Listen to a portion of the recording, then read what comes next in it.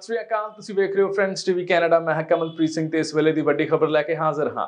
ਇਸ ਵੇਲੇ ਦੀ ਵੱਡੀ ਖਬਰ ਹੈ ਅਰਵਿੰਦ ਕੇਜਰੀਵਾਲ ਦਾ ਇਹ ਬਿਆਨ, ਜਿੱਥੇ ਉਹਨਾਂ ਨੇ ਵਿਕਾਸ ਦੇ ਮੁੱਦਿਆਂ ਤੇ ਬਹਿਸ ਨੂੰ ਜ਼ਰੂਰੀ ਸਮਝਿਆ ਹੈ ਤੇ ਕਿਹਾ ਹੈ ਕਿ ਸਾਨੂੰ ਨਵਜੋਤ ਸਿੰਘ ਸਿੱਧੂ ਦੀ ਚੁਣੌਤੀ ਕਬੂਲ ਹੈ। ਜਾਣਦੇ ਹਾਂ ਇਸ ਖਬਰ ਨੂੰ ਵਿਸਥਾਰ ਦੇ ਨਾਲ। ਆਮ ਆਦਮੀ ਪਾਰਟੀ ਸੁਪਰੀਮੋ ਅਰਵਿੰਦ ਕੇਜਰੀਵਾਲ ਨੇ ਪੰਜਾਬ ਕਾਂਗਰਸ ਪ੍ਰਧਾਨ ਨਵਜੋਤ ਸਿੰਘ ਸਿੱਧੂ ਵੱਲੋਂ ਆਮ ਆਦਮੀ ਪਾਰਟੀ ਨੂੰ ਦਿੱਤੀ ਗਈ ਬਹਿਸ ਦੀ ਚੁਣੌਤੀ ਨੂੰ ਸਵੀਕਾਰ ਕਰਦਿਆਂ ਬਹਿਸ ਲਈ ਸਥਾਨ ਤੇ ਸਮਾਂ ਤੈਅ ਕਰਨ ਦੇ ਲਈ ਸਿੱਧੂ ਨੂੰ ਕਿਹਾ ਹੈ।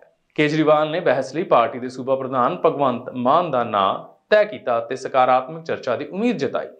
ਐਤਵਾਰ ਨੂੰ ਚੰਡੀਗੜ੍ਹ ਹਵਾਈ ਅੱਡੇ ਤੇ ਪੱਤਰਕਾਰਾਂ ਦੇ ਸਵਾਲਾਂ ਦਾ ਜਵਾਬ ਦਿੰਦਿਆਂ ਕੇਜਰੀਵਾਲ ਨੇ ਕਿਹਾ ਕਿ ਮੈਂ ਨਵਜੋਤ ਸਿੱਧੂ ਵੱਲੋਂ ਦਿੱਤੀ ਗਈ ਬਹਿਸ ਦੀ ਚੁਣੌਤੀ ਨੂੰ ਸਵੀਕਾਰ ਕਰਦਾ ਹਾਂ ਤੇ ਉਮੀਦ ਕਰਦਾ ਹਾਂ ਕਿ ਚਰਚਾ ਸਕਾਰਾਤਮਕ ਤੇ ਵਿਕਾਸ ਦੇ ਮੁੱਦੇ ਤੇ ਹੋਵੇਗੀ।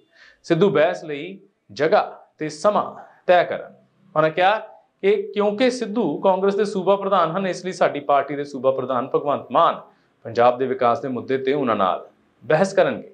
ਕਾਂਗਰਸ ਦੀ ਆਲੋਚਨਾ ਕਰਦੇ ਹੋਏ ਕੇਜਰੀਵਾਲ ਨੇ ਕਿਹਾ ਕਿ ਕਾਂਗਰਸ ਨੂੰ ਪੰਜਾਬ ਦਾ ਵਿਕਾਸ ਕਰਨ ਲਈ 5 ਸਾਲਾਂ ਦਾ ਸਮਾਂ ਮਿਲਿਆ ਸੀ, ਪਰ ਉਸ ਨੇ ਲੋਕਾਂ ਨਾਲ ਧੋਖਾ ਕੀਤਾ ਅਤੇ ਸਿਰਫ ਬਹਾਨੇ ਬਣਾਏ।